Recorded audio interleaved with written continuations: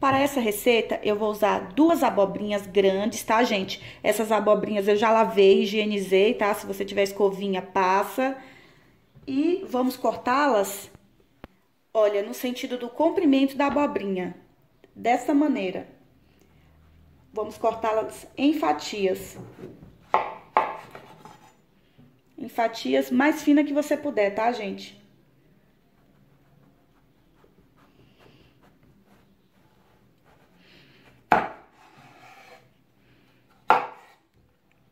Olha, fatias dessa forma, ok?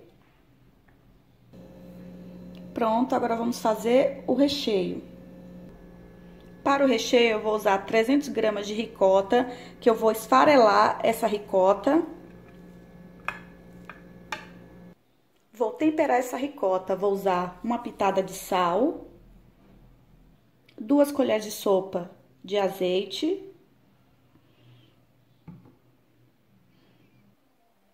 orégano a gosto,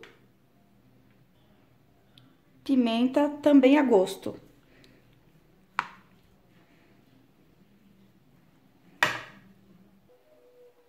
Vou pegar cada fatia de abobrinha, vou colocar um pouco do recheio e vou enrolá-la.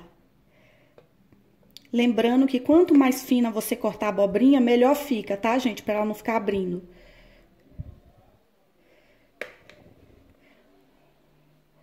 Olha, desta forma. Vou cobrir as abobrinhas com 200 ml de um bom molho de tomate, tá? Esse molho eu acrescentei sal, pimenta e umas folhinhas de manjericão, tá, gente? Por fim, vou adicionar queijo parmesão a gosto, tá, gente? E vou levar ao forno em 200 graus por 30 minutos. Está pronta, gente, aqui a nossa abobrinha low carb.